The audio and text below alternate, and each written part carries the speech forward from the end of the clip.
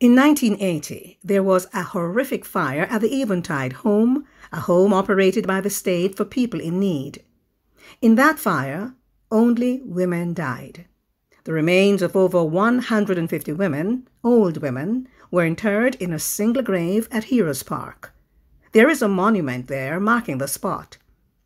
The half hour radio documentary you're about to hear was done by me in 1985 as my final production as a student at the Caribbean Institute of Media and Communication, now the Caribbean School of Media and Communication, UWI, Mona, Jamaica. I am Fae Ellington. This is The Golden Years.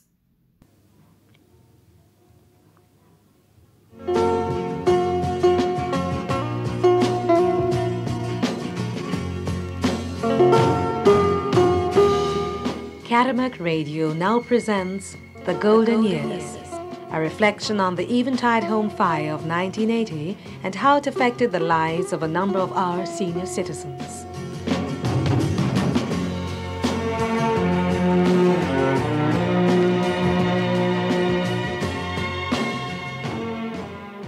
It took me weeks to, to really come to myself. I couldn't eat any flesh from I've been seeing what fire can do to a human body.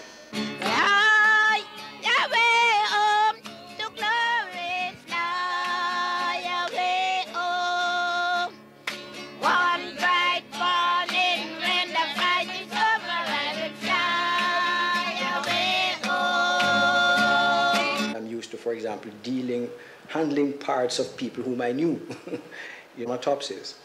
But to this day, I, you know, it's, it's, a, it's something that will really never leave my, my mind. I have this picture uh, of, you know, unrecognizable corpses that are shrunken to half the size from the heat, you know, skulls being split open from the temperature.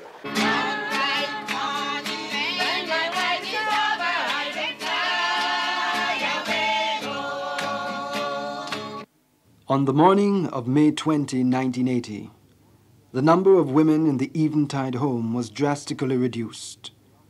Myers Ward, which they occupied, had been completely destroyed by fire in just 10 minutes. 157 women perished. The news in the early hours of that day, and indeed for weeks, left many persons numb.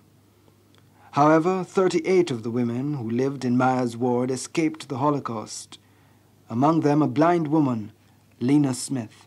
Well, on the morning before day, about one o'clock, I went out, I get up, and I heard Carlington Sinclair say one o'clock, and I was listening. I heard a patient say she saw the smoke. Once I saw the fire, I went and pushed the door open, and I see it, man, living nearby me. And and she went outside. And after I came in back and hauled my grip on she take her box. And I put it down on the bench, but I saw little prayers. And the Lord said, don't go in back. And I took up my grip and put under my arm with my stick. And I shout out for fire. Lord have mercy, my sister them burn up. And no one and I was going down the step. I meet a worker, and she rush against my side and say, all that I worrying about, my money that burn upstairs. Well, I was shouting and go along. And when I go and reach the office, I never know where I was going. And Cherry Mangaroo say, come, Miss Simmet, come up here. And I put my stick and touch the table.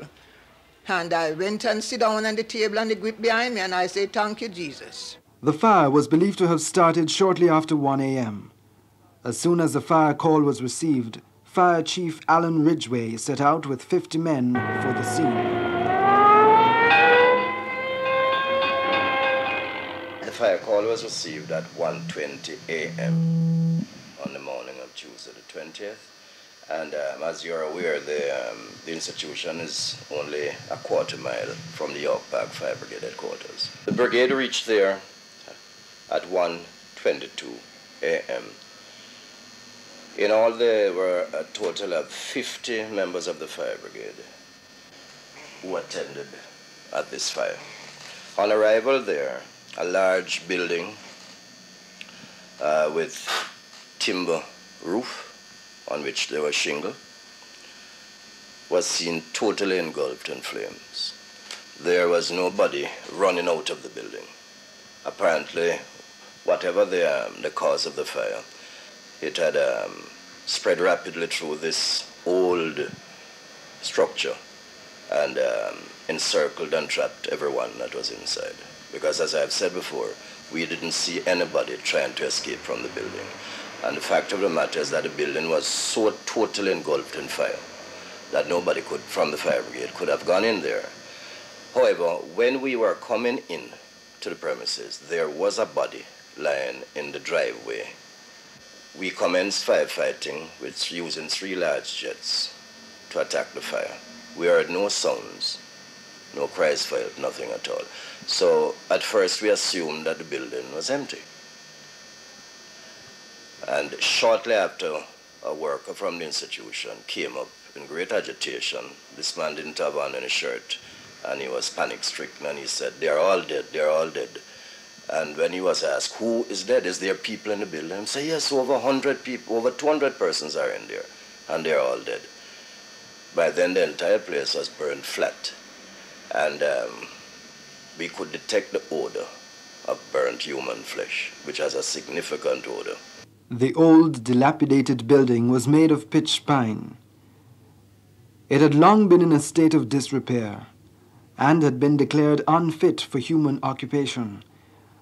Approximately 20 years before the fire in 1980, Myers Ward had been condemned. Myers Ward had been burnt flat, with nothing left to indicate what might have started the fire. Director of the Police Forensic Lab, Dr. Gladstone Taylor, had a difficult task. Well, I found a completely burned structure uh, in the sense that for forensic analysis, one, one requires more or less partly unburnt matter uh, before one can, you know, carry out the real practical and necessary tests. But in this particular case, the structure uh, apparently was of very old, ancient material, dried wood, really. That, um, and the fire was apparently so extensive that most of the material was consumed. So what we found really, mostly charcoal. Um, we searched the place for things like cans, uh, containers, but everywhere, the thing was completely burnt down.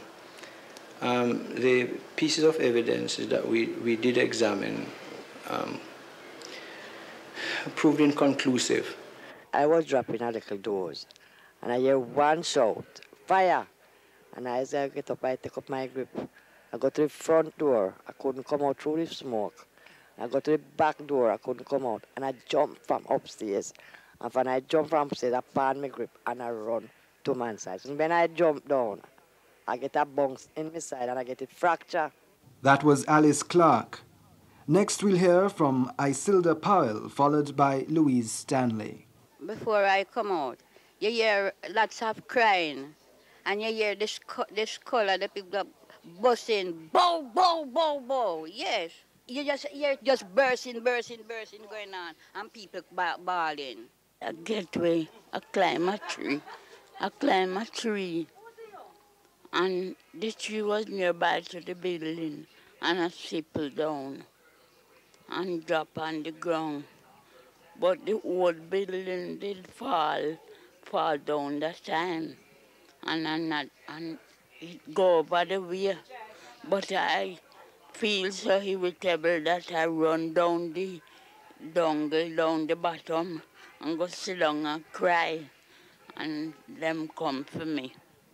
But see all my higher wait the fire propping on my eye, I can hardly see now. The police forensic lab could not determine the cause of the fire. It had happened all too quickly. Those who visited the scene described it as horrifying. There were charred pieces of flesh that were once human beings, charcoal remains of some of our older women, of some of our mothers. For days, many persons were unable to eat meat.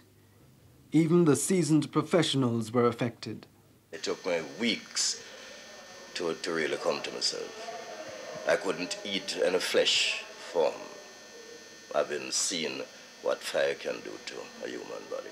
I'm used to, for example, dealing, handling parts of people whom I knew, in autopsies.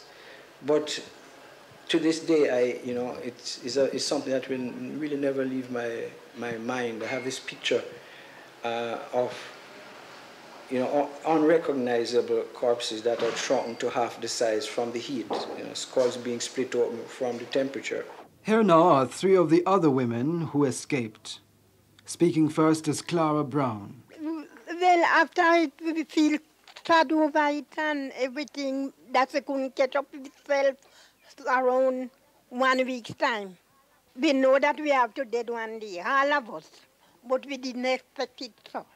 Louisa Thompson. I was sleeping the night, fast asleep, and I dreamt that I go to Mr. Riney, his Queen Street Baptist, and telling him my trouble. And after him talk, and we were talking, he said to me, say, when you go read the fourth Psalms. And I stop and we have a talk again, and we talk. And I said, Mr. Riney, I don't remember the Psalms. He said, fourth Psalms. That's the second time.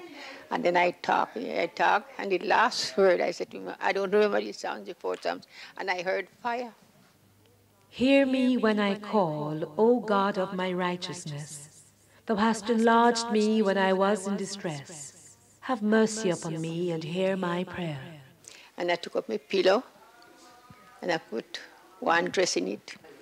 And when I stepped out on the veranda, the upstairs veranda now start a blaze right over my head. And the heat take me, and I find that I was in danger. And I heard the fire brigade coming back where you go on better house. I said, I'm not going that way, for it's two fire brigade, one way past and the other one hit me. And I turned down and the fire over the head, over the, the veranda now, the breeze of the fire start lifting up the clothes. I said, my God, if I am to die tonight, the flesh and the bone is for the fire, and my spirit and soul is yours. Doris Johnson. When the day like I don't know what happened and I have be over the police station to save my life and then me run and go. Save my life. That time they leave the ward and happen me stick and go out and fall down and get up and pass all the dead house.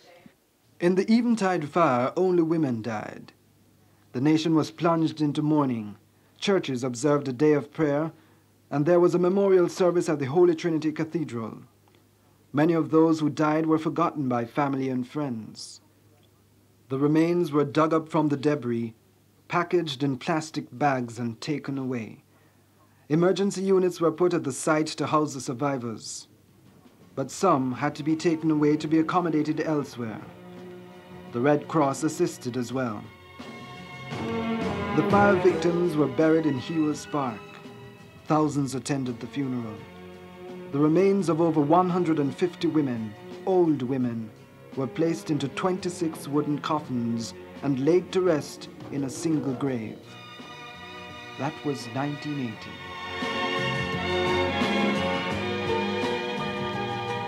There are numerous elderly persons who are classified as poor, indigent, or destitute.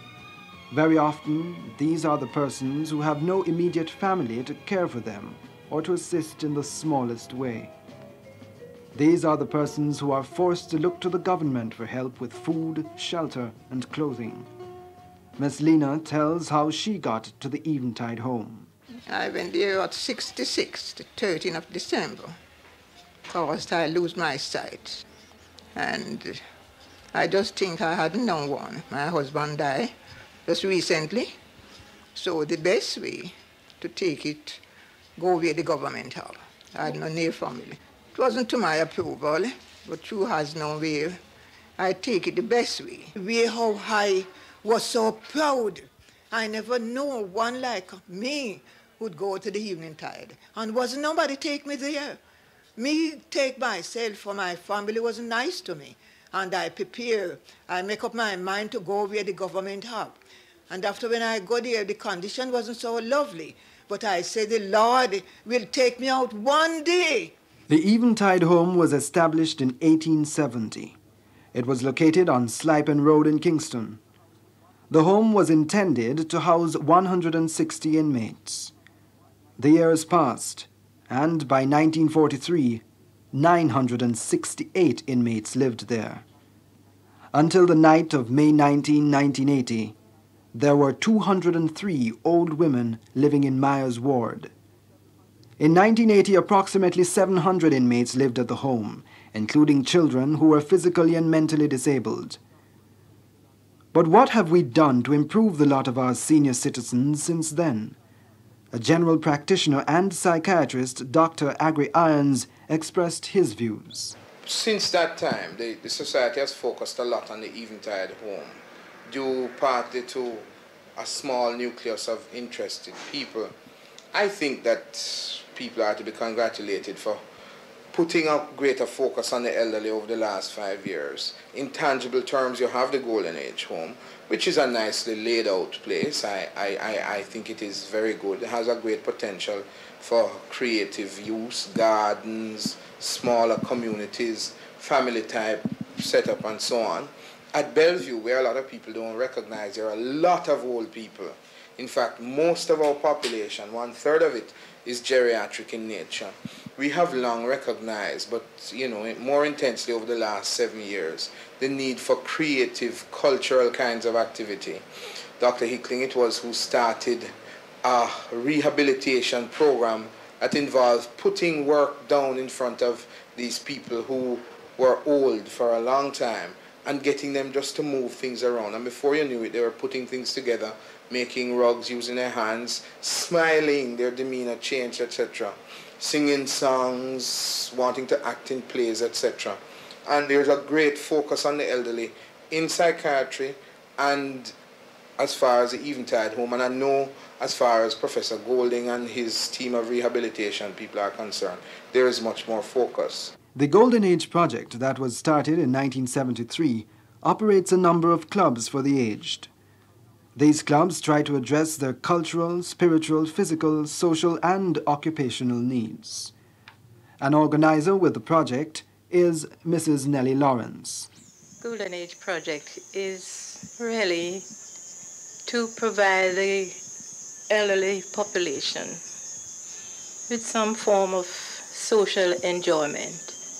Because you find that when people retire, they go home and they have they have a lot of time on their hands and they want to spend it more gainfully instead of locking away themselves in a back room or so and think of their troubles. But we find in Jamaica that we have a serious class problem when it comes on to the Golden Age project you find that people think that it belongs only to the poor people. But in all class, there is a certain degree of loneliness when it comes to retirement age. And that is why the government tries to bring in this age group into groups that they can um, provide themselves with little with fun enjoyment, whatever. The project is also responsible for organizing Senior Citizens Week in September each year. It provides a home help service where nurses, aides, and volunteers visit the homes of the elderly who are in need. However, they are not involved in the government's home for the aged. People age at different rates. Very often, it is not the number of years that you have lived, but the toll the life you have lived has taken on your body. But as a society, who do we classify as being elderly? Depending on the society you're in, you can get different degrees of people being classified as elderly. Usually in Western civilizations, people classify those over the age of retirement or over the age of 65 as being elderly. With modern medical treatment and, of course, other types of lifestyles other than just going home from work and going back to work. More and more people are recognizing that people do not get elderly at a particular date in time. It's no longer a chronological situation, but a state of health. But for a rule of thumb, one would say that anybody who has passed the three score and ten, who is no longer gainfully employed, who is in a dependent kind of situation would be classified as elderly. As a society, we have placed very little emphasis on preparing and providing for our golden ages. We should be attempting to change attitudes and behavior towards our senior citizens. Miss Lena believes that all persons who work with the elderly should be trained. If you don't get training, you can't do things to whole people. You can't love them. You can't bear with them because whole people, they are very miserable. So you have to have some good training from your birth coming up to love your whole family. Then when you come up and to work with old people, we have the same love. But if you don't get any training, like some of my girl in evening tide, they want to be trained. Groups and individuals did help from time to time at the Eventide Home for the Aged. A Catholic priest, Father Richard Ho Lung, gave a lot of his love and time to the residents there. His work was greatly appreciated, and the love felt for him is strong. To tell you the truth, it was a rotten stuff, no secret. And since he came there, he make a lot of indifference. For some of the poor people them sick, and take them all to St. Joseph, that it nearly come against him. But he never mind the Lord help him to pay the fee. And all when the rat affair and all that, he get people to come in and volunteer. And from that, him been playing a part till he build Faith Home. Myself should go there, but through the bunk bed, I don't like it. Otherwise, I would be there. So he has do a big part. It was Father Richard Ho Lung who made much of the indignities suffered by the residents known to the public. There was even a time at the home when rats shared accommodation with the people. The rats even used some human flesh to supplement their diet.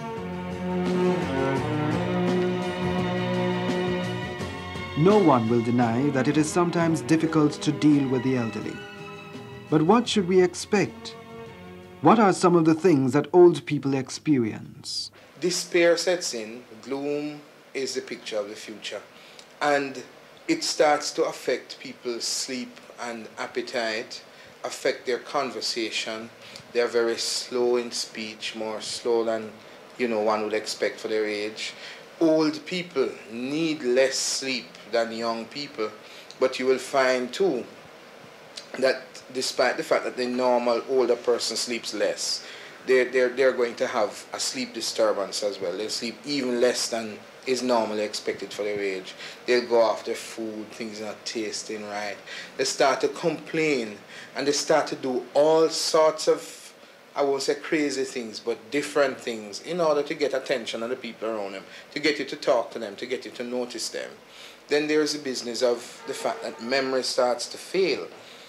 And you know how people are, especially in our culture. If you forget something, if you misplace something, if you can't remember where to find your things, then you think that somebody has stolen it, or somebody is interfering with your things, or somebody trying to trouble you. And of course, that sets on top of the depression a kind of paranoid mood. Why them don't go away and leave me alone, sort of thing. Now, that is a definite thing with the elderly. And what usually happens is that people don't recognize that this is what people are going through, the old people are going through. And they react with annoyance which of course makes the situation worse. And you will often hear the depressed old person say, I'm better off dead, I don't have no use, that sort of thing. One of the most common needs of old people is care. Not just being taken care of, but being cared about and being cared for. Good care and health is achieved only when there is a state of social, physical, and mental well-being.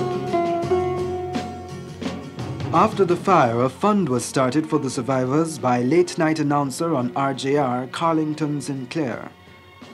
The money and the interest amounted to half a million dollars. A committee was appointed by the government under the chairmanship of Mr. Sammy Henriquez to locate a site and construct a new home. The new Golden Age home is a statutory body. It is located on a 13-acre site at 3 St. Joseph's Avenue in Kingston 3. An officer with the Jamaica Defense Force with 29 years experience as an administrator is in charge. He is Major Desmond Clark. well, let's say after the fire, which destroyed a part of, of the Eventide home, government saw it fit to sort of change the concept of the institutions that formerly housed the indigent of society. And they embarked on this project, but to take it out of the mainstream of government administration and hand it over to a board who I suppose they thought would be better able to deal with the situations that, that would occur, and hence the Golden Age Home Limited.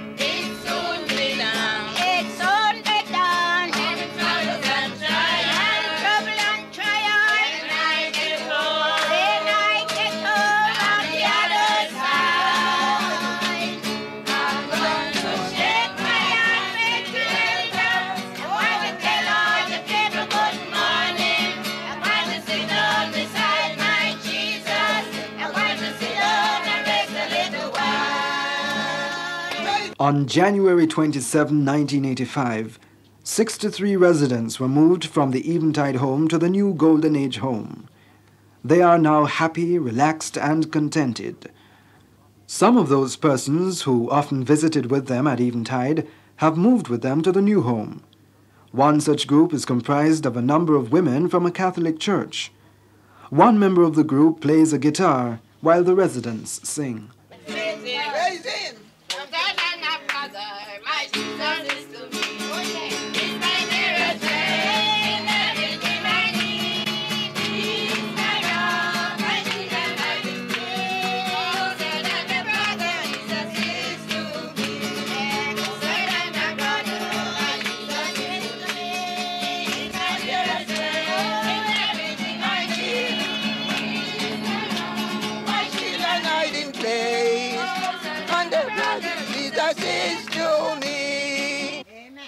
Father, we thank you for your strength. Oh, yes. Father, we do thank you for this resident Amen. that we know nothing about. No. Only God provided. Yes. But no one of think of us. Yes. No one care for us. No one want us. But someone provide. Richard Olong, Sammy Enriquez, Major Clark, Church and State, and others up to the school children. So Father, let me give you thanks and praise for this resident, this consecrated spot. Father, we do thank you. So I got to cry with you, Lord, and you weep for me. So Father, let me give you all the praise and the honor and the glory. Thank you for these sisters. Three years gone, they've been visitors and they never leave us out. So Father, we do thank you for them. Without Satan is around, but we do thank you for them. Father, go with them. Walk with them, sleep with them, house of prayer also. Oh, Father, bless them now, Lord. In Jesus' name, in Jesus' name we pray. The official opening ceremony of the Golden Age home took place on Thursday, April 11, 1985. It was a bright, breezy, sunny afternoon. There were Jamaicans from every walk of life.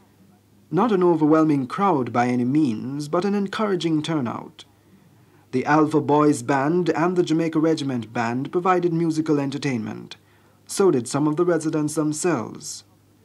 Some pertinent comments were made by the Deputy Chairman of the Golden Age Home, Professor John Golding. Today, we have come to celebrate the first glimmerings of a national conscience, an example of the eternal responsibility that the more fortunate have towards the less, the debt the rich have to the poor.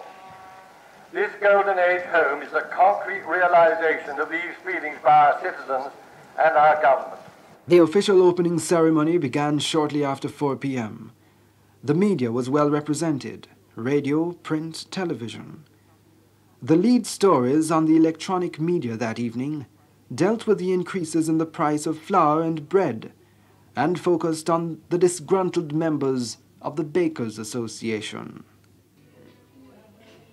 It is the poet H.S. Fritz who says, Age is a quality of the mind.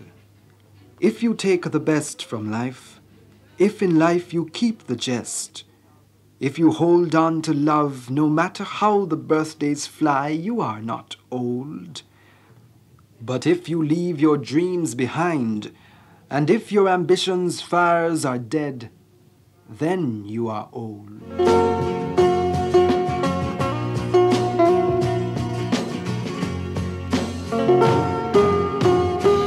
CARIMAC Radio just presented The Golden Years. Your narrator was Alwyn Scott. Technical operator, Michael Chambers. We should like to thank all those persons who made this program possible. The Golden Years was produced by Fae Ellington for CARIMAC Radio.